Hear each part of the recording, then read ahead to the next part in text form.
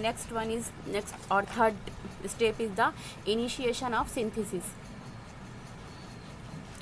In this initiation of synthesis means uh, protein synthesis. Uh, first of all the initiation is fac- initiation factor is required. Now the initiation of the protein synthesis required the initiation factor. And in prokaryotes three types of different initiation factors are present.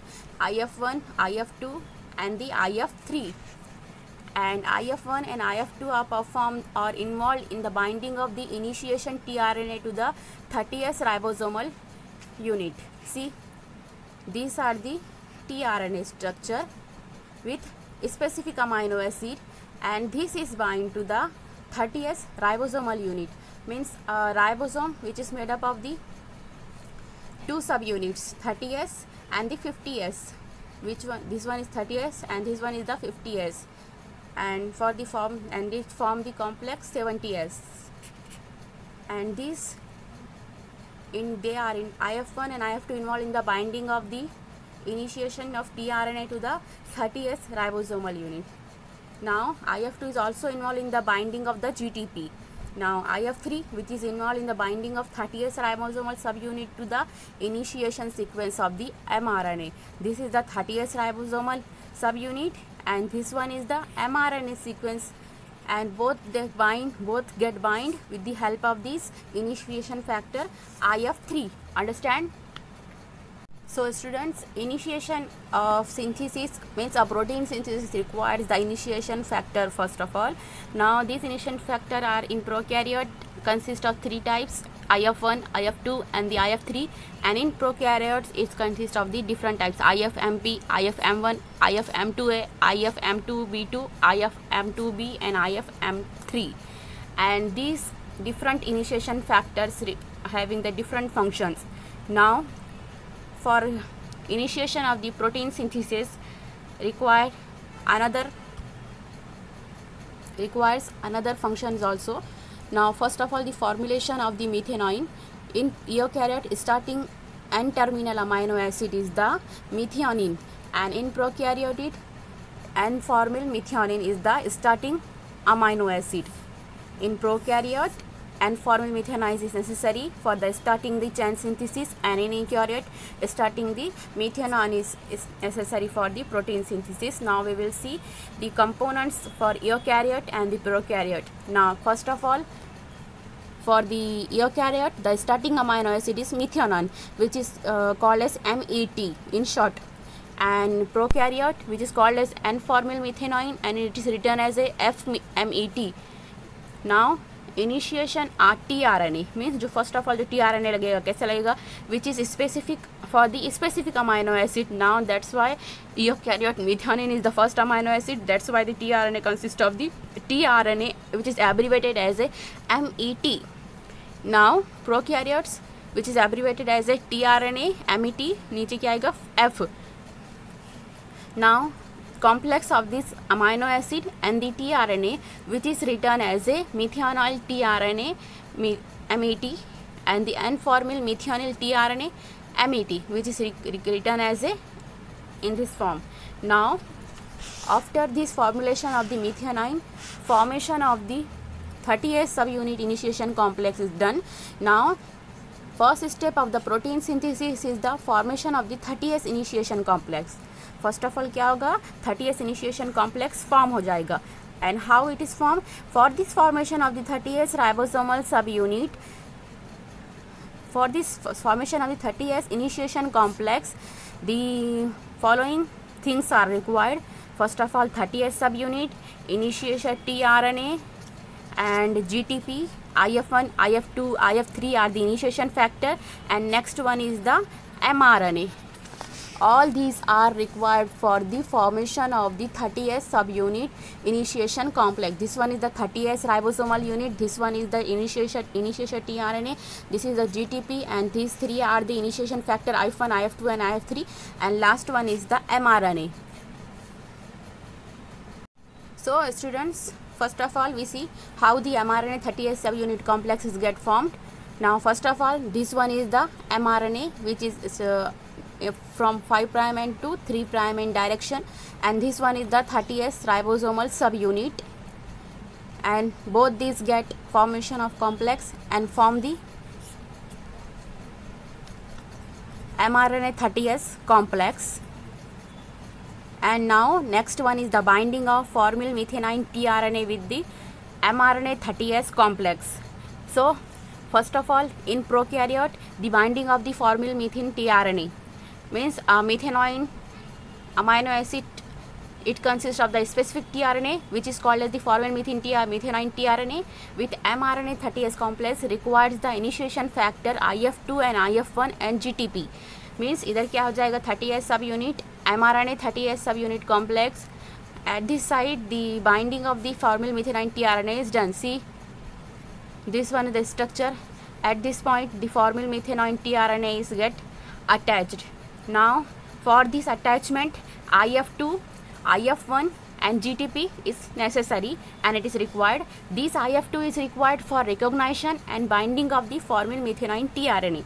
This one is the complex structure of the mRNA 30S ribosomal subunit and on this structure first of all they get recognize the site where they bind and after recognition the binding is get done of the formyl methanoin tRNA. And others if also works but IF2 is more important than the other. Means in this initiation factor it consists of three types IF2 IF1 and IF3 and from these three types IF2 is necessary or important than the other initiation factors. And it is more important. Now initiation of the tRNA with attachment of the N-formyl methanoin then it gets bind with its UAC anticodon to an AUG codon of the mRNA. See, this is the mRNA, this one is the 30S ribosomal unit. And inside this on this mRNA AUG codon is present. And this AUG codon is the initiation codon. And to this AUG codon the tRNA which is N-formyl methanoin it bind this one is the tRNA and it bind to the initiation codon AUG with anticodon UAC means adenine is paired with the uracil, uracil pair with the adenine and guan, guanine pair with the cytosine C means AUG codon which is paired with the anticodon of tRNA UAC. Understand all of you? Now next one is the attachment of the ribosomal subunit to the to form the complete initiation complex. Now the next step in prokaryote is the attachment of the 50S ribosomal unit. See this one is the 30S ribosomal unit and below this 30S subunit the formation or uh, of the 50S subunit is done. Now how they get attached to the 30S the next step in prokaryote is the attachment of the 50S ribosomal subunit. Now to form the complete 70S initiation complex. Now during this process GTP it converted into GDP and the pyrophosphate and initiation factor uh, first and initiation factor 2 are released for recycling. After the attachment of this 50S subunit here, here the two factors are present IF2 and the I F one they get release for the recycling ये निकल जाएँगे other use आने, आगे के लिए use होने के लिए।